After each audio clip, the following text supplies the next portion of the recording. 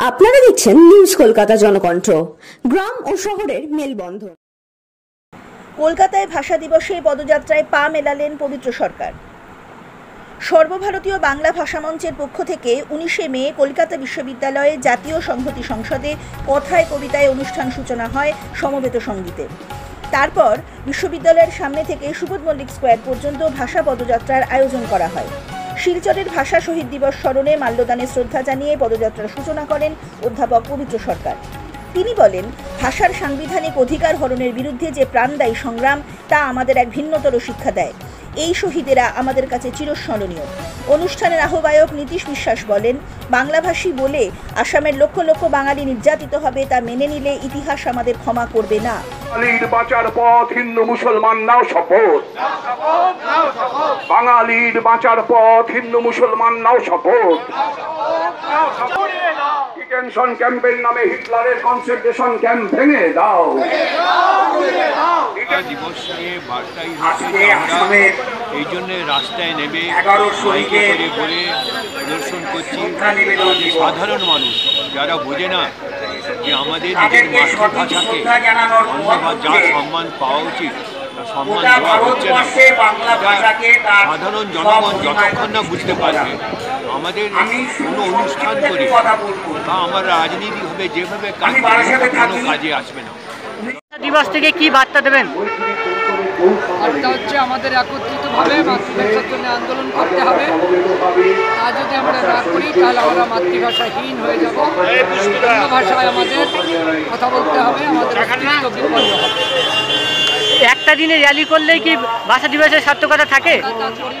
সারা বছর প্রোগ্রাম করি, আমাদের অন্য কোনো সারাক্ষণ ভাষা করি। আপনাদের এই কথা বলতে পারি যে ভারতবর্ষে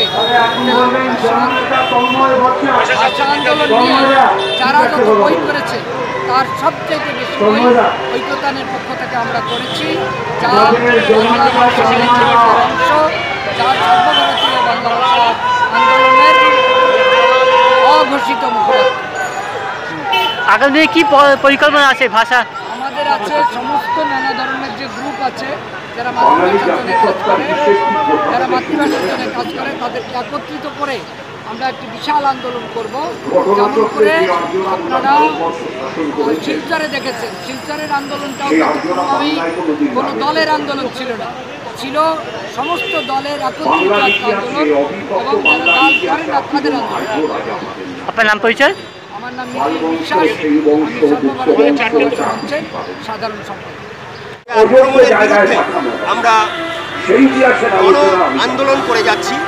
বাংলা ভাষাকে ভাষাকে সমস্ত স্কুল কলেজে পাঠ্য করা যায় যাতে বাংলা ভাষার উপর যে আগ্রাসন সারা ভারতবর্ষব্যাপী রাজ্যে রাজ্যে এবং সেই আগ্রাসন বাংলা বন্ধ যাতে হয় এবং যে সকল রাজ্যে বাংলা ভাষা পড়ানো হতো সেই ভাষাগুলো এখন বাংলা ভাষা এখন আর বন্ধ হয়ে গেছে।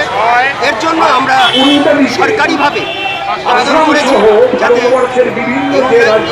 ইংরাজি মাধ্যমের স্কুলগুলো এবং বাংলা মাধ্যমের স্কুলগুলো আরও বেশি করে বাংলা পড়ানো হয়। এই আবেদন আমরা সরকারের কাছে রাখছি। আমরা গণ আন্দোলনে আপনার নাম পরিচয়? আমার নাম দিলীপ পাল। বাংলা রাজ্য কমিটির সদস্য।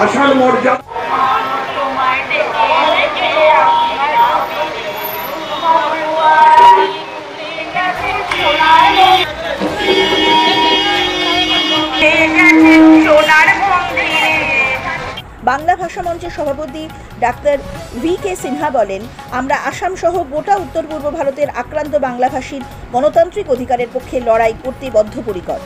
মিছিলে দুই শতাধিক শিল্পী, সাহিত্যিক, শিক্ষক, গবেষক, ছাত্রছাত্রী ও বহু মহিলা শিল্পীরা অংশগ্রহণ করেন। পদযাত্রায় ঐকতান গ্রুপের সংগীত পরিবেশনা করা হয়। মিছিলে ছিলেন মানভূম আন্দোলনের প্রবীণ ভাষা সৈনিক কাজল সেন, সর্বভারতীয় বাংলা ভাষা মঞ্চের সভাপতি ক্যাপ্টেন ডক্টর দিলীপ সিনহা, প্রাক্তন বিধায়ক তন্ময় ভট্টাচার্য, অধ্যাপক জ্যোতিভূষণ দত্ত, অধ্যাপক সুস্নাত দাস, দলিত সাহিত্যিক অমর কৃষ্ণ বিশ্বাস, বাচিক শিল্পী রজত বন্দ্যোপাধ্যায়, সাহিত্যিক কপিল কৃষ্ণ ঠাকুর ও জাতীয় শিক্ষক সূর্যাংশু ভট্টাচার্য, চন্দ্রশেখর ভট্টাচার্য প্রমুখ। সমগ্র অনুষ্ঠানটি পরিচালনা করেন দিলীপ পাল ও অমর পাল। Kazi Hafizul report, news Kolkata.